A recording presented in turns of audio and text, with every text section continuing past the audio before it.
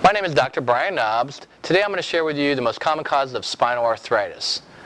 Spinal arthritis is due to major or minor trauma. What I mean by major trauma is an auto accident, a work injury, a sports injury, or a slip and fall type injury. One major incident that leads to the development of spinal arthritis.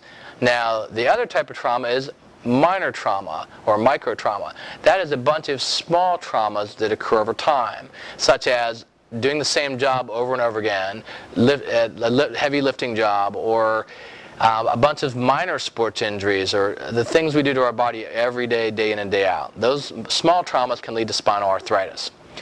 Now, after a major trauma, the body goes through three phases of healing. The first phase of healing is the inflammation phase. Now after the inflammation phase comes the repair phase. During the repair phase of healing, the body produces collagen. That's the body's tissue to promote healing. Now the bad thing about collagen is it's less elastic, less strong, and more sensitive than the body's normal tissues. So if during the repair phase, if you don't get physical medicine such as chiropractic care, your body gonna, from producing all that collagen will heal improperly over time. If it's not receiving that physical medicine, it'll heal improperly and you'll always, those tissues will always be less elastic, less strong, and more sensitive than they should be.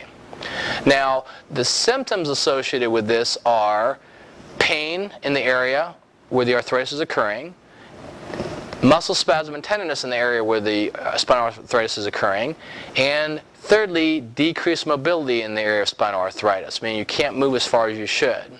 Now, what my patients with spinal arthritis tell me is that it causes them a lot of problems in their daily life. First of all, with spinal arthritis, quality of sleep is affected.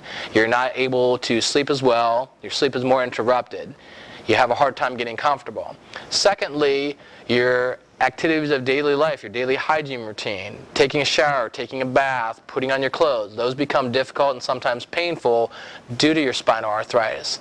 And thirdly, your ability to work. Your ability to work is decreased. You're not able to work as well, not able to get as much done, not able to lift as much. You might miss more time of work due to your pain from your spinal arthritis. So, if you have spinal arthritis, it's causing you pain, and you're ready to get rid of your pain, you need to call 896 9355.